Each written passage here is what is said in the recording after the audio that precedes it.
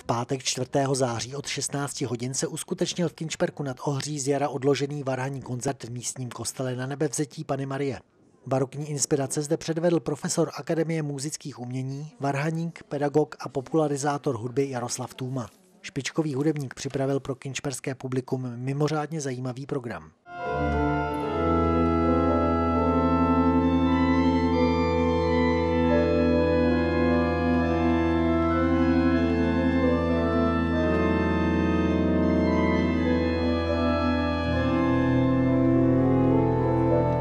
Jaké jsou podle erudovaného znalce kinšperské varhany? Mně se líbí moc. Eh, potíž je, že by potřebovali eh, velké restaurování. Ideální by bylo, kdyby se to udělalo najednou, ale samozřejmě to stojí hodně peněz.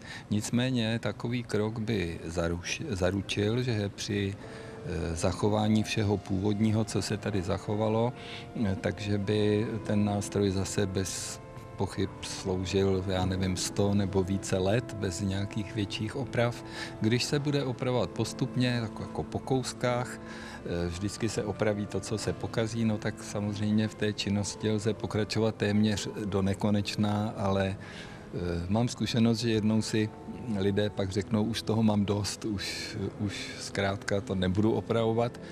Velkou chybou by bylo ten nástroj vyhodit a pořídit si e, úplně jiný, protože ty varhany jsou opravdu vzácné a krásné, ale potřebují hodně velkou finanční injekci a hlavně potřebují někoho, kdo by to opravdu dobře uměl udělat.